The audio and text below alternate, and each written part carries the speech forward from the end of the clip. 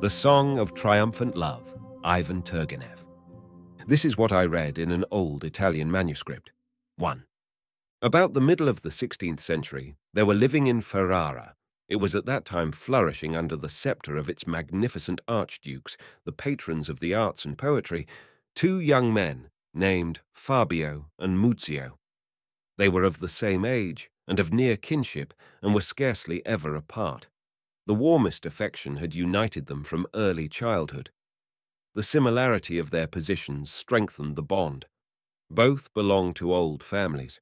Both were rich, independent, and without family ties. Tastes and inclinations were alike in both. Muzzio was devoted to music, Fabio to painting. They were looked upon with pride by the whole of Ferrara as ornaments of the court, society, and town. In appearance, however, they were not alike, though both were distinguished by a graceful, youthful beauty. Fabio was taller, fair of face and flaxen of hair, and he had blue eyes. Muzzio, on the other hand, had a swarthy face and black hair, and in his dark brown eyes there was not the merry light, nor on his lips the genial smile of Fabio. His thick eyebrows overhung narrow eyelids, while Fabio's golden eyebrows formed delicate half circles on his pure, smooth brow. In conversation, too, Muzzio was less animated. For all that, the two friends were both alike looked on with favour by ladies, as well they might be, being models of chivalrous courtliness and generosity. At the same time, there was living in Ferrara a girl named Valeria. She was considered one of the greatest beauties in the town, though it was very seldom possible to see her, as she led a retired life, and never went out except to church and on great holidays for a walk. She lived with her mother, a widow of noble family, though of small fortune, who had no other children. In every one whom Valeria met, she inspired a sensation of involuntary admiration and an equally involuntary tenderness and respect. So modest was her mien, so little, it seemed, was she aware of all the power of her own charms. Some, it is true, found her a little pale. Her eyes, almost always downcast, expressed a certain shyness, even timidity. Her lips rarely smiled, and then only faintly. Her voice scarcely anyone had heard. But the rumour went that it was most beautiful, and that, shut up in her own room, in the early morning, when everything still slumbered in the town, she loved to sing old songs to the sound of the lute, on which she used to play herself. In spite of her pallor, Valeria was blooming with health, and even old people, as they gazed on her, could not but think, Oh, how happy the youth for whom that pure maiden bud, still enfolded in its petals, will one day open into full flower. 2.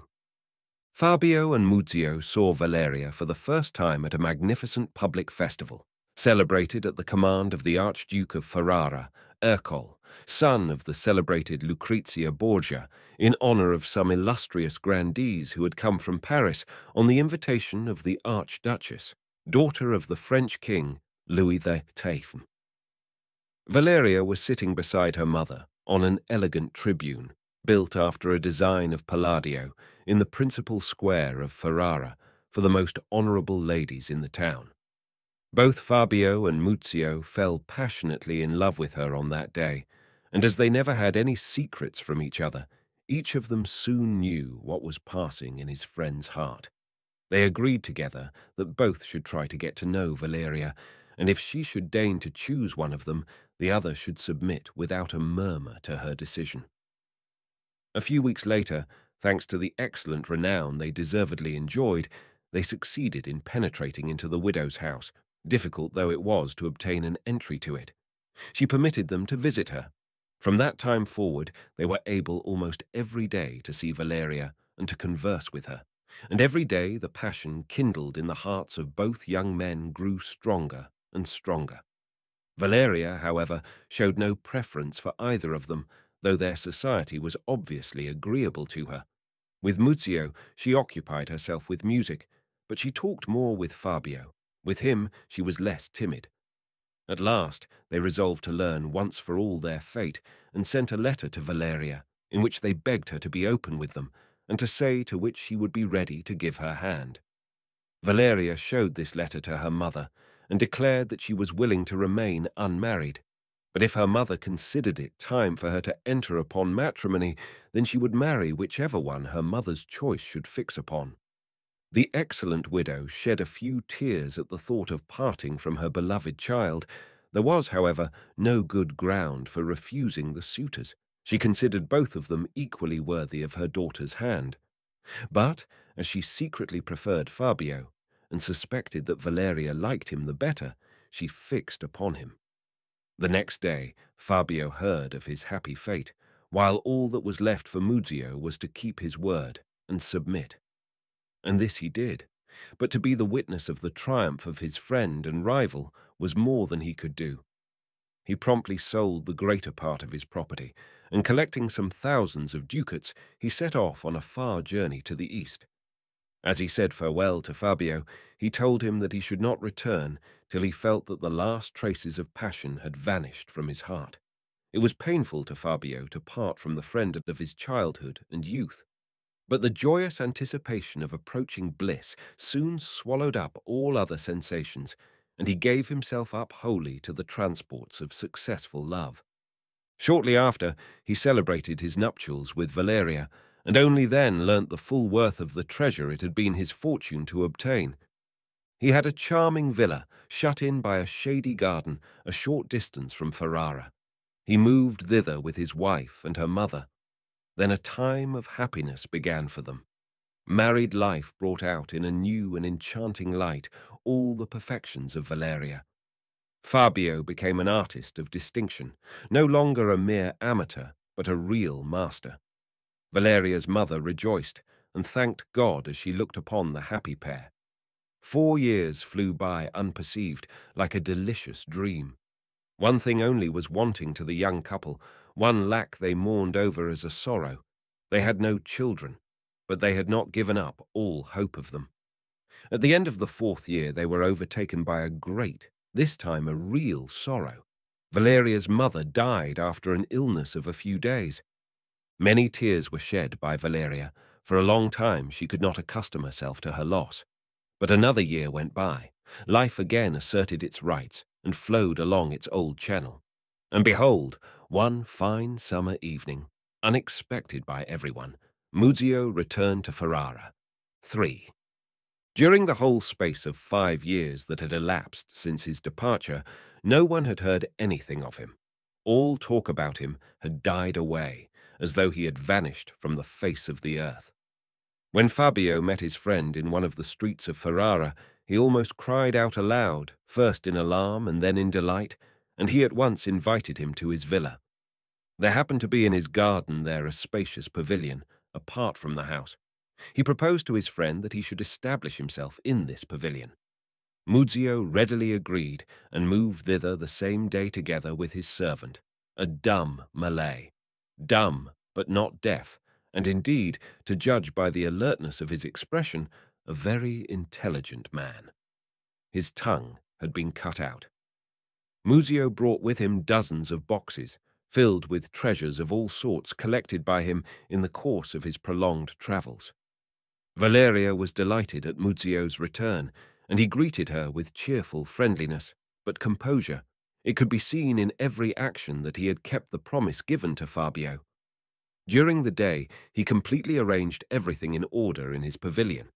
Aided by his Malay, he unpacked the curiosities he had brought rugs, silken stuffs, velvet and brocaded garments, weapons, goblets, dishes, and bowls, decorated with enamel things made of gold and silver and inlaid with pearl and turquoise, carved boxes of jasper and ivory, cut bottles, spices, incense, skins of wild beasts, and feathers of unknown birds, and a number of other things, the very use of which seemed mysterious and incomprehensible. Among all these precious things there was a rich pearl necklace, bestowed upon Muzzio by the king of Persia for some great and secret service. He asked permission of Valeria to put this necklace with his own hand about her neck. She was struck by its great weight and a sort of strange heat in it. It seemed to burn to her skin. In the evening after dinner, as they sat on the terrace of the villa in the shade of the oleanders and laurels, Muzzio began to relate his adventures. He told of the distant lands he had seen, of cloud-topped mountains and deserts, rivers like seas. He told of immense buildings and temples, of trees a thousand years old, of birds and flowers of the colours of the rainbow. He named the cities and the peoples he had visited, their very names seemed like a fairy tale. The whole East was familiar to Muzzio. He had traversed Persia, Arabia, where the horses are nobler and more beautiful than any other living creatures. He had penetrated into the very heart of India, where the race of men grow like stately trees. He had reached the boundaries of China and Tibet, where the living god, called the Grand Lama, dwells on earth in the guise of a silent man with narrow eyes. Marvellous were his tales. Both Fabio and Valeria listened to him as if enchanted. Muzzio's features had really changed very little. His face, swarthy from childhood, had grown darker still, burnt under the rays of a hotter sun. His eyes seemed more deep-set than before, and that was all. But the expression of his face had become different, concentrated and dignified. It never showed more life when he recalled the dangers he had encountered by night in forests that resounded with the roar of tigers, or by day on solitary ways where savage fanatics lay in wait for travellers to slay them in honour of their iron goddess who demands human sacrifices. And Muzzio's voice had grown deeper and more even. His hands, his whole body had lost the freedom of gesture peculiar to the Italian race. With the aid of his servant, the obsequiously alert Malay, he showed his hosts a few of the feats he had learnt from the Indian Brahmins. Thus, for instance, having first hidden himself behind a curtain, he suddenly appeared sitting in the air cross-legged, the tips of his fingers pressed lightly on a bamboo cane placed vertically, which astounded Fabio not a little and positively alarmed Valeria. Isn't he a sorcerer? was her thought. When he proceeded, piping on a little flute, to call some tame snakes out of a covered basket, where their dark, flat heads with quivering tongues appeared under a party-coloured cloth, Valeria was terrified and begged Muzzio to put away these loathsome horrors as soon as possible. At supper, Muzzio regaled his friends with wine of Shiraz from a round, long-necked flagon. It was of extraordinary fragrance and thickness, of a golden colour with a shade of green in it, and it shone with a strange, silent man with narrow eyes. Marvellous were his tales. Both Fabio and Valeria listened to him as if enchanted. Muzzio's features had really changed very little. His face, swarthy from childhood, had grown darker still, burnt under the rays of a hotter sun. His eyes seemed more deep-set than before, and that was all. But the expression of his face had become different concentrated and dignified. It never showed more life when he recalled the dangers he had encountered by night in forests that resounded with the roar of tigers, or by day on solitary ways where savage fanatics lay in wait for travellers to slay them in honour of their iron goddess who demands human sacrifices. And Muzzio's voice had grown deeper and more even. His hands, his whole body had lost the freedom of gesture peculiar to the Italian race. With the aid of his servant, the obsequiously alert Malay, he showed his hosts a few of the feats he had learnt from the Indian Brahmins. Thus, for instance, having first hidden himself behind a curtain, he suddenly appeared sitting in the air cross-legged, the tips of his fingers pressed lightly on a bamboo cane placed vertically, which astounded Fabio not a little and positively alarmed Valeria. Isn't he a sorcerer?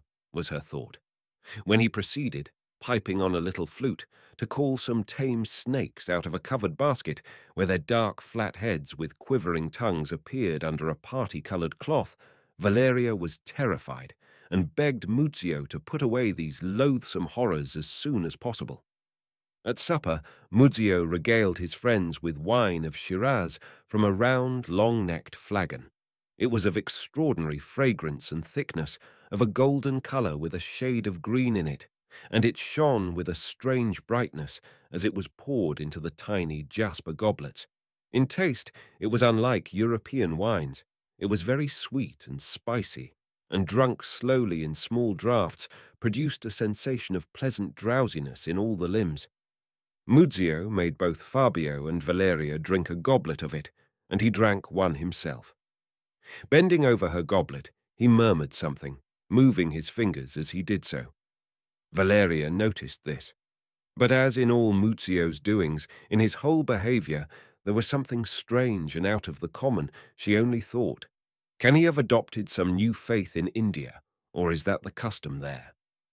Then, after a short silence, she asked him, Had he persevered with music during his travels?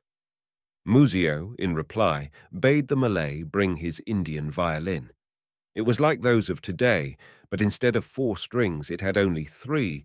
The upper part of it was covered with a bluish snakeskin, and the slender bow of reed was in the form of a half moon, and on its extreme end glittered a pointed diamond.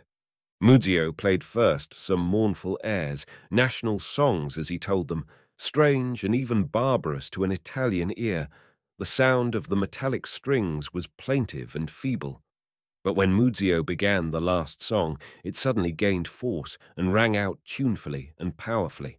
The passionate melody flowed out under the wide sweeps of the bow, flowed out, exquisitely twisting and coiling like the snake that covered the violin top. And such fire, such triumphant bliss glowed and burned in this melody that Fabio and Valeria felt wrung to the heart, and tears came into their eyes. While Muzzio, his head bent and pressed close to the violin, his cheeks pale, his eyebrows drawn together into a single straight line, seemed still more concentrated and solemn. And the diamond at the end of the bow flashed sparks of light as though it too were kindled by the fire of the divine song. When Muzzio had finished, and still keeping fast the violin between his chin and his shoulder, dropped the hand that held the bow. What is that? What is that you have been playing to us? cried Fabio.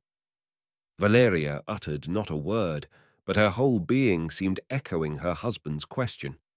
Muzzio laid the violin on the table, and slightly tossing back his hair, he said with a polite smile, That, that melody, that song I heard once in the island of Ceylon, that song is known there among the people as the song of happy, triumphant love.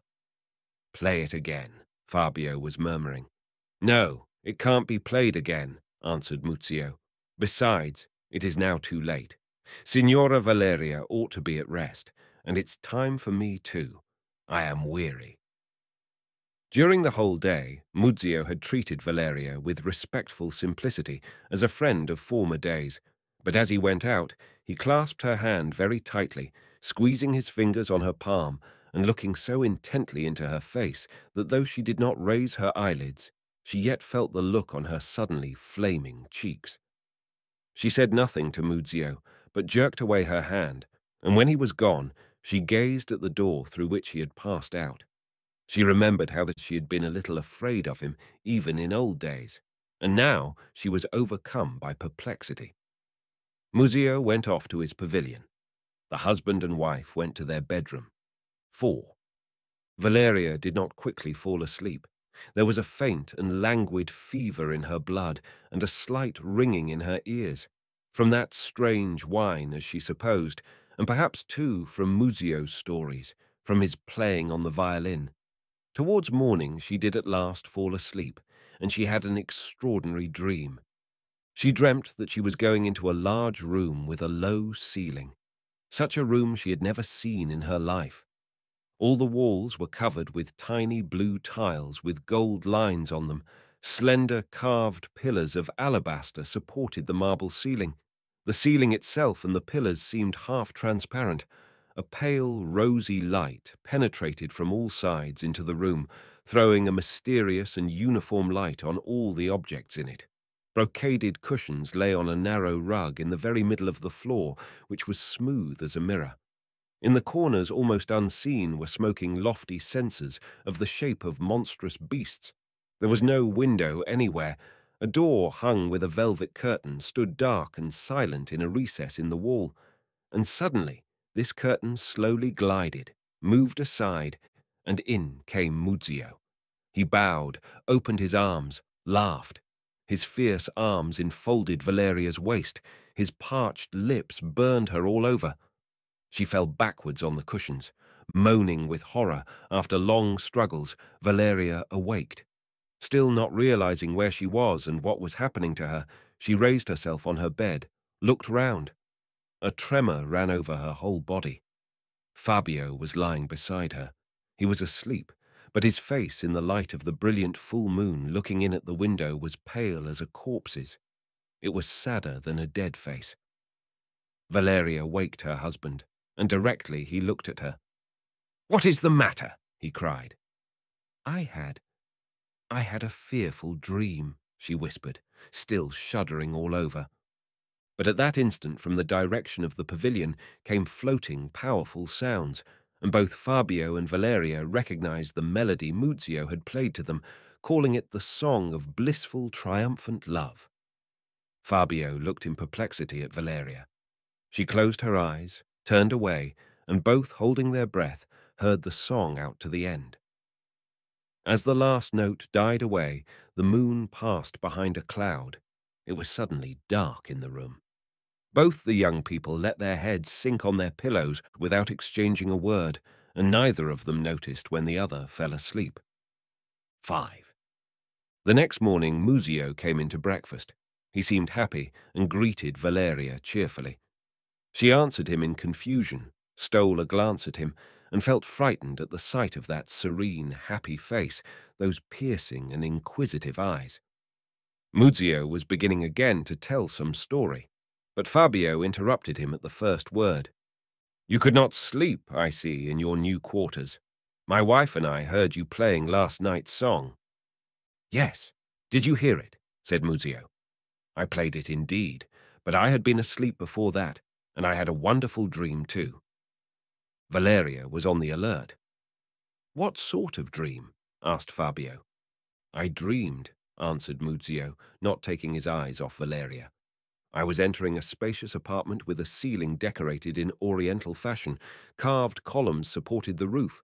The walls were covered with tiles, and though there were neither windows nor lights, the whole room was filled with a rosy light, just as though it were all built of transparent stone. In the corners, Chinese censers were smoking. On the floor lay brocaded cushions along a narrow rug. I went in through a door covered with a curtain, and at another door just opposite appeared a woman whom I once loved, and so beautiful she seemed to me that I was all aflame with my old love. Muzzio broke off significantly. Valeria sat motionless, and only gradually she turned white, and she drew her breath more slowly. Then, continued Muzzio. I waked up and played that song. But who was that woman? said Fabio. Who was she? The wife of an Indian.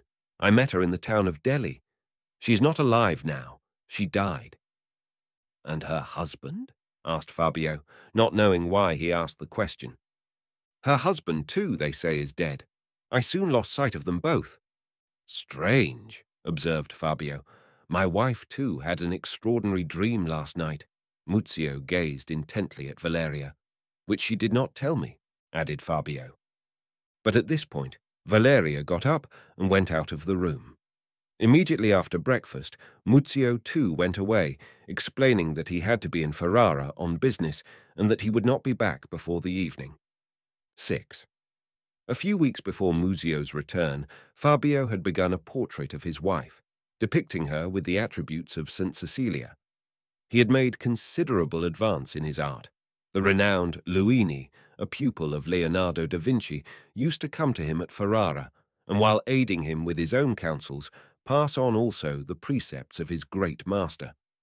The portrait was almost completely finished.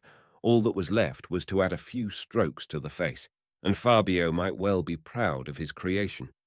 After seeing Muzzio off on his way to Ferrara, he turned into his studio, where Valeria was usually waiting for him. But he did not find her there. He called her. She did not respond. Fabio was overcome by a secret uneasiness. He began looking for her. She was nowhere in the house. Fabio ran into the garden, and there, in one of the more secluded walks, he caught sight of Valeria. She was sitting on a seat, her head drooping onto her bosom and her hands folded upon her knees, while behind her, peeping out of the dark green of a cypress, a marble satyr with a distorted, malignant grin on his face was putting his pouting lips to a Pan's pipe. Valeria was visibly relieved at her husband's appearance, and to his agitated questions she replied that she had a slight headache, but that it was of no consequence, and she was ready to come to sit to him. Fabio led her to the studio, posed her, and took up his brush. But to his great vexation, he could not finish the face as he would have liked to. And not because it was somewhat pale and looked exhausted. No, but the pure, saintly expression, which he liked so much in it, and which had given him the idea of painting Valeria as St. Cecilia, he could not find in it that day. He flung down the brush at last, told his wife he was not in the mood for work, and that he would not prevent her from lying down, as she did not look at all well, and put the canvas with its face to the wall. Valeria agreed with him that she ought to rest, and repeating her complaints of a headache, withdrew into her bedroom. Fabio remained in the studio. He felt a strange, confused sensation incomprehensible to himself. Muzzio's stay under his roof, to which he, Fabio, had himself urgently invited him, was irksome to him. And not that he was jealous. Could anyone have been jealous of Valeria? But he did not recognize his former comrade in his friend. All that was strange, unknown, and new that Muzzio had brought with him from those distant lands, and which seemed to have entered into his very flesh and blood, all these magical feats, songs, strange drinks, this dumb Malay, even the spicy fragrance diffused by Muzzio's garments, his hair, his breath, all this inspired in Fabio a sensation akin to distrust, possibly even to timidity. And why did that Malay waiting at table stare with such disagreeable intentness at him, Fabio? Really, anyone might suppose that he understood Italian. Muzzio had said of him that in losing his tongue, this Malay had made a great sacrifice, and in return he was now possessed of great power. What sort of power? And how could he have obtained it at the price of his tongue? All this was very strange, very incomprehensible. Fabio went into his wife's room. She was lying on the bed, dressed, but was not asleep. Hearing his steps, she started, then again seemed delighted to see him just as in the garden.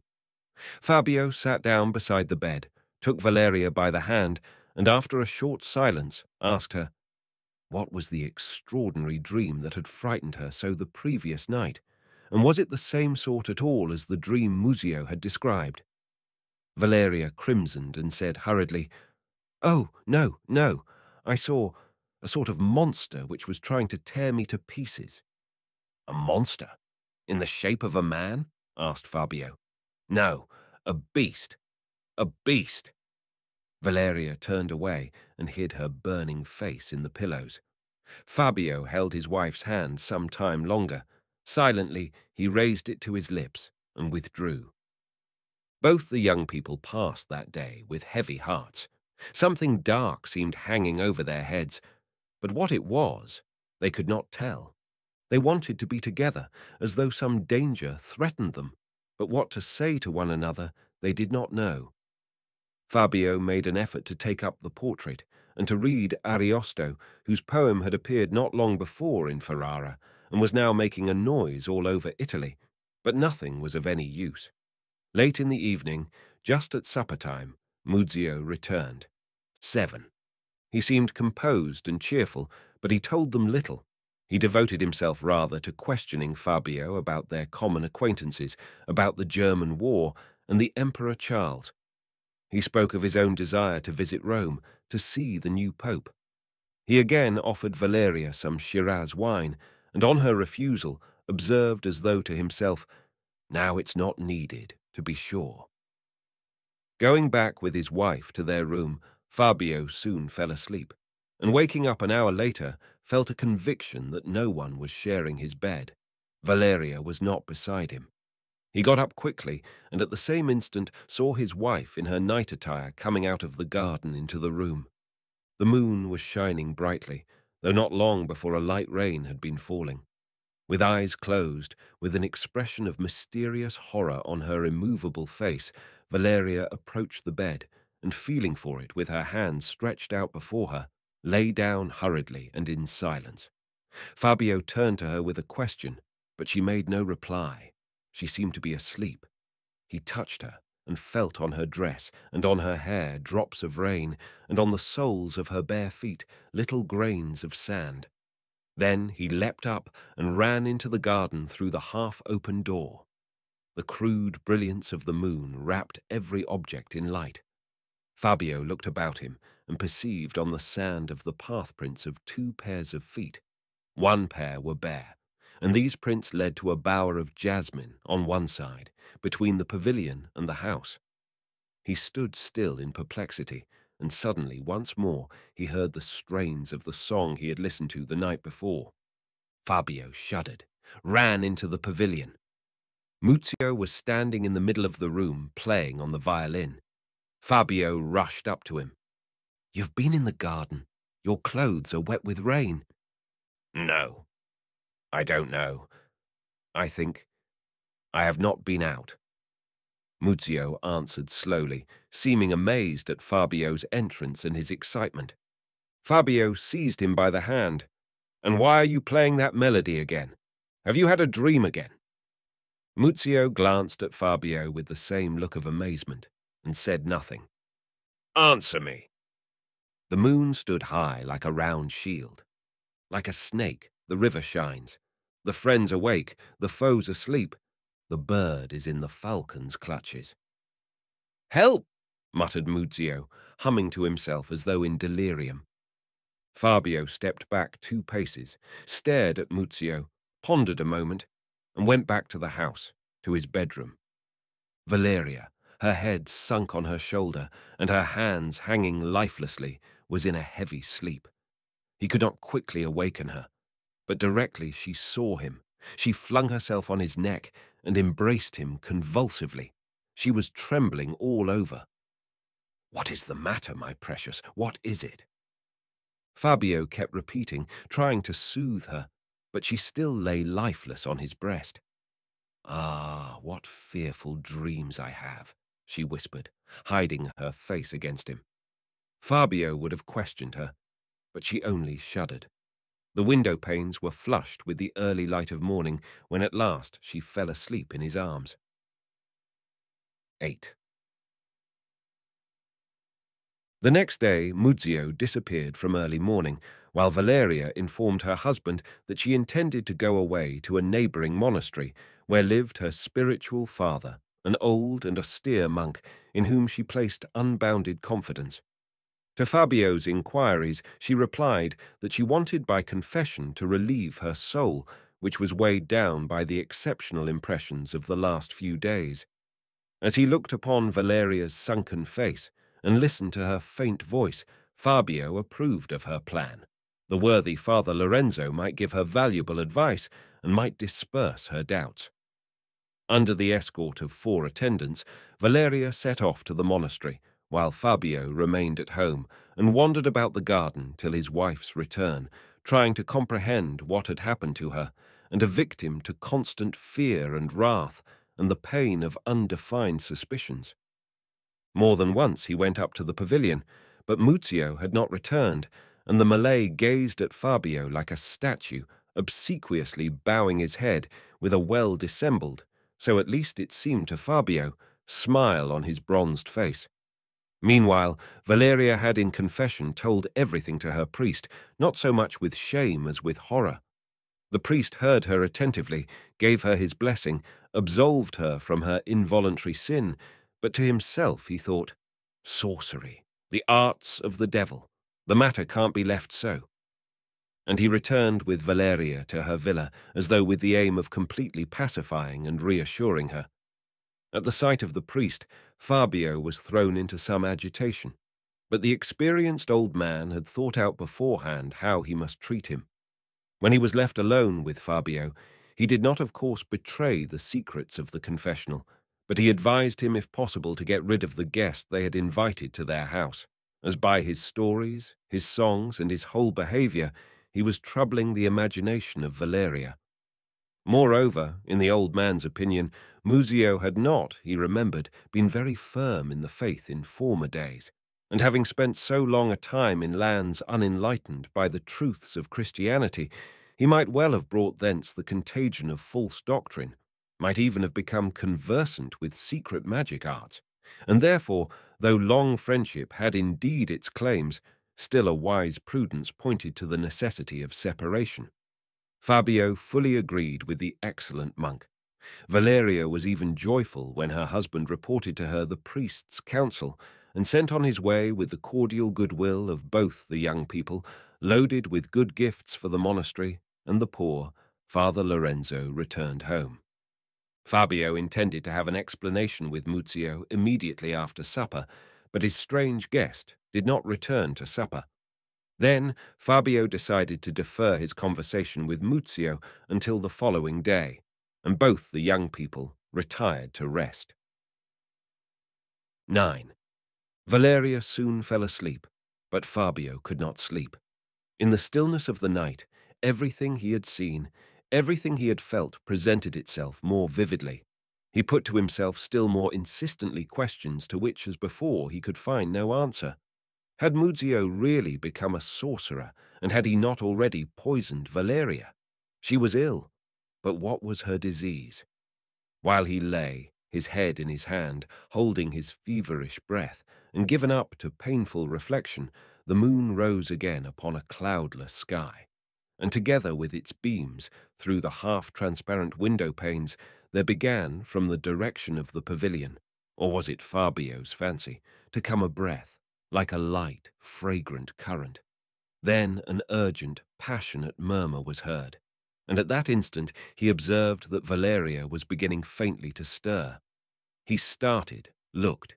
She rose up, slid first one foot, then the other out of the bed, and like one bewitched of the moon, her sightless eyes fixed lifelessly before her, her hands stretched out, she began moving towards the garden.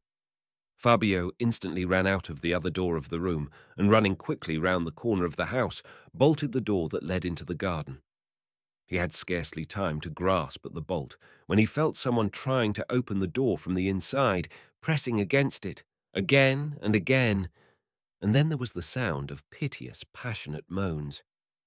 But Muzzio has not come back from the town, flashed through Fabio's head, and he rushed to the pavilion. What did he see?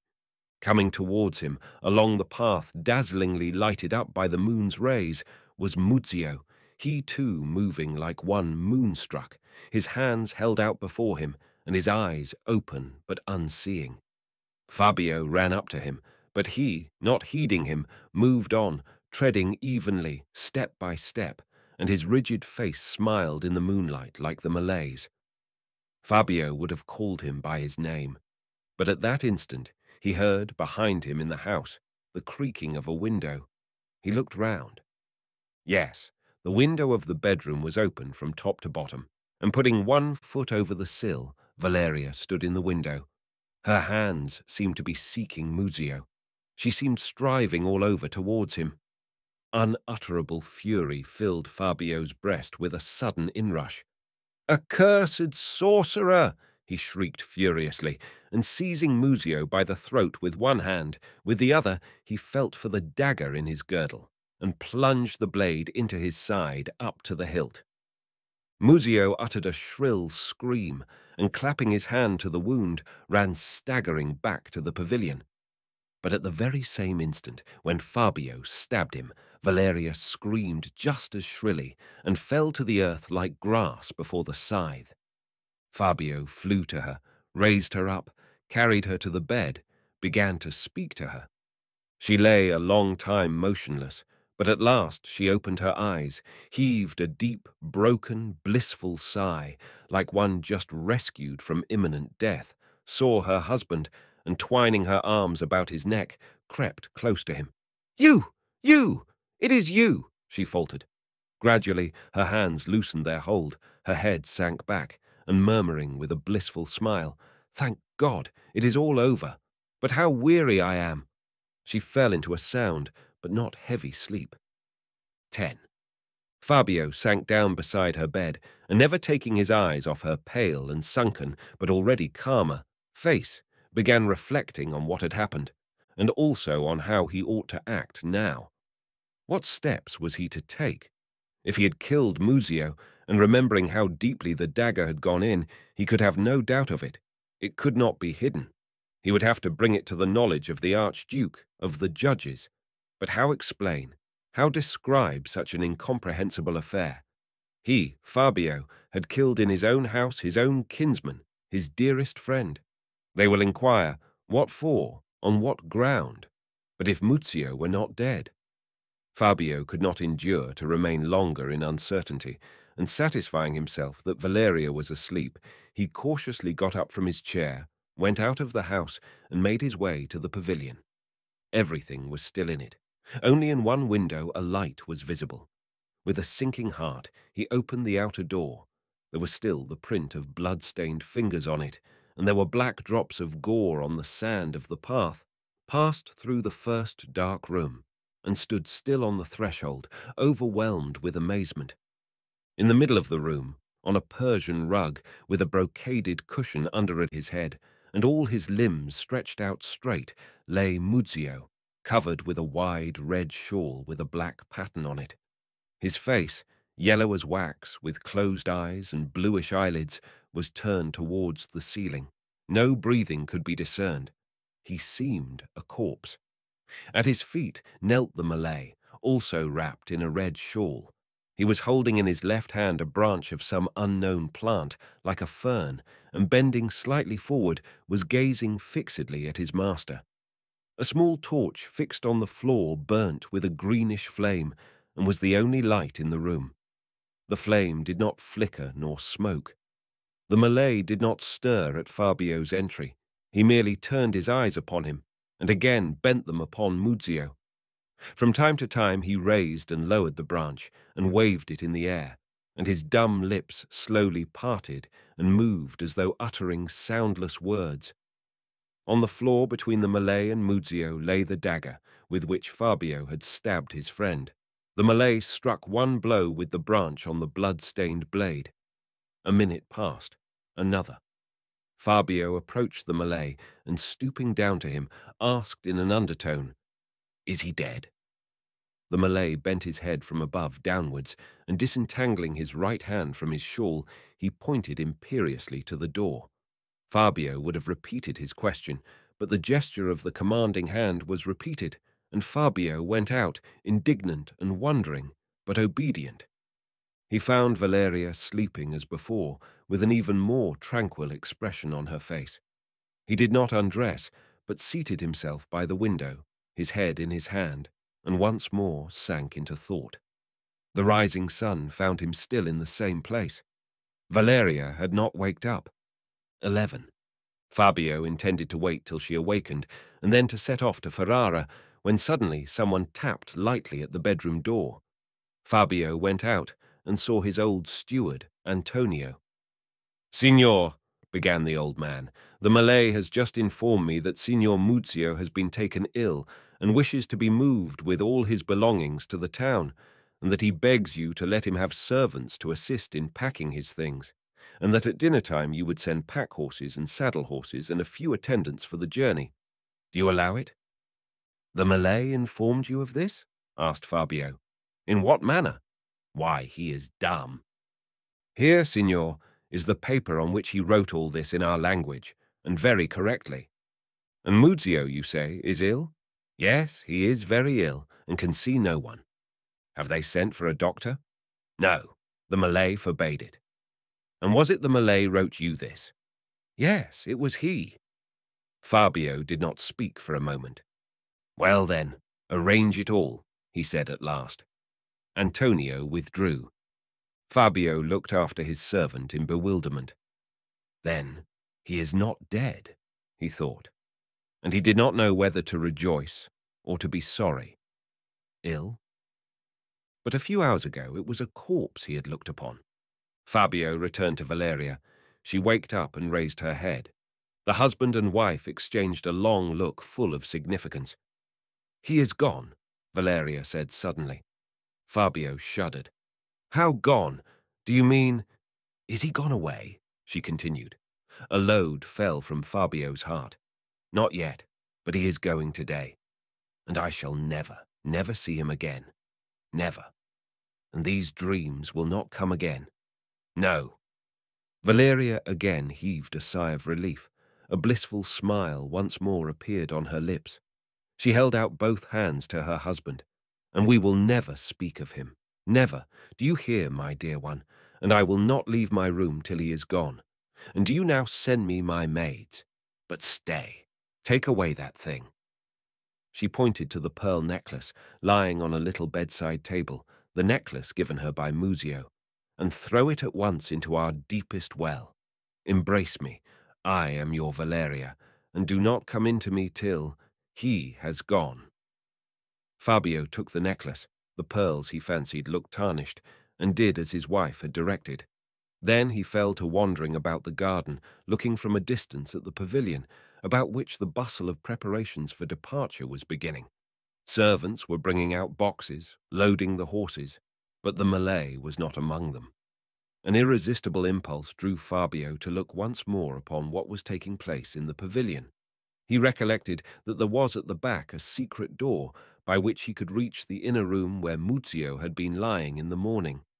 He stole round to this door, found it unlocked, and parting the folds of a heavy curtain, turned a faltering glance upon the room within. 12. Muzzio was not now lying on the rug. Dressed as though for a journey, he sat in an armchair, but seemed a corpse, just as on Fabio's first visit. His torpid head fell back on the chair, and his outstretched hands hung lifeless, yellow and rigid on his knees. His breast did not heave. Near the chair on the floor, which was strewn with dried herbs, stood some flat bowls of dark liquid, which exhaled a powerful, almost suffocating odour, the odour of musk. Around each bowl was coiled a small snake of brazen hue, with golden eyes that flashed from time to time, while directly facing Muzzio, two paces from him, rose the long figure of the Malay, wrapped in a mantle of many-coloured brocade, girt round the waist with a tiger's tail, with a high hat of the shape of a pointed tiara on his head. But he was not motionless. At one moment he bowed down reverently and seemed to be praying. At the next he drew himself up to his full height, even rose on tiptoe. Then, with a rhythmic action, threw wide his arms and moved them persistently in the direction of Muzzio, and seemed to threaten or command him, frowning and stamping with his foot. All these actions seemed to cost him great effort, even to cause him pain. He breathed heavily, the sweat streamed down his face. All at once he sank down to the ground, and drawing in a full breath, with knitted brow and immense effort, drew his clenched hands towards him, as though he were holding reins in them, and to the indescribable horror of Fabio, Muzzio's head slowly left the back of the chair and moved forward, following the Malay's hands. The Malay let them fall, and Muzzio's head fell heavily back again. The Malay repeated his movements, and obediently the head repeated them after him. The dark liquid in the bowls began boiling. The bowls themselves began to resound with a faint bell-like note, and the brazen snakes coiled freely about each of them. Then the Malay took a step forward, and raising his eyebrows and opening his eyes immensely wide, he bowed his head to Muzzio, and the eyelids of the dead man quivered, parted uncertainly, and under them could be seen the eyeballs, dull as lead. The Malay's face was radiant with triumphant pride and delight, a delight almost malignant. He opened his mouth wide, and from the depths of his chest there broke out with effort a prolonged howl. Muzzio's lips parted too, and a faint moan quivered on them in response to that inhuman sound. But at this point, Fabio could endure it no longer. He imagined he was present at some devilish incantation. He too uttered a shriek and rushed out, running home, home as quick as possible, without looking round, repeating prayers and crossing himself as he ran. 13. Three hours later, Antonio came to him with the announcement that everything was ready, the things were packed, and Signor Muzzio was preparing to start. Without a word in answer to his servant, Fabio went out onto the terrace, whence the pavilion could be seen. A few pack horses were grouped before it. A powerful raven horse, saddled for two riders, was led up to the steps, where servants were standing bareheaded, together with armed attendants. The door of the pavilion opened, and supported by the Malay, who wore once more his ordinary attire, appeared Muzzio. His face was deathlike, and his hands hung like a dead man's. But he walked. Yes, positively walked, and seated on the charger, he sat upright, and felt for and found the reins. The Malay put his feet in the stirrups, leaped up behind him on the saddle, put his arm round him, and the whole party started. The horses moved at a walking pace, and when they turned round before the house, Fabio fancied that in Muzzio's dark face there gleamed two spots of white. Could it be he had turned his eyes upon him? Only the Malay bowed to him, ironically, as ever. Did Valeria see all this? The blinds of her windows were drawn, but it may be she was standing behind them. Fourteen. At dinner time, she came into the dining room and was very quiet and affectionate. She still complained, however, of weariness, but there was no agitation about her now, none of her former constant bewilderment and secret dread. And when, the day after Muzzio's departure, Fabio set to work again on her portrait, he found in her features the pure expression, the momentary eclipse of which had so troubled him, and his brush moved lightly and faithfully over the canvas. The husband and wife took up their old life again. Muzzio vanished for them as though he had never existed. Fabio and Valeria were agreed, as it seemed, not to utter a syllable referring to him, not to learn anything of his later days. His fate remained, however, a mystery for all. Muzzio did actually disappear, as though he had sunk into the earth. Fabio one day thought it his duty to tell Valeria exactly what had taken place on that fatal night, but she probably divined his intention, and she held her breath, half shutting her eyes, as though she were expecting a blow. And Fabio understood her. He did not inflict that blow upon her. One fine autumn day, Fabio was putting the last touches to his picture of his Cecilia. Valeria sat at the organ, her fingers straying at random over the keys. Suddenly, without her knowing it, from under her hands came the first notes of that song of triumphant love which Muzzio had once played. And at the same instant, for the first time since her marriage, she felt within her the throb of a new palpitating life. Valeria started stopped. What did it mean? Could it be? At this word, the manuscript ended.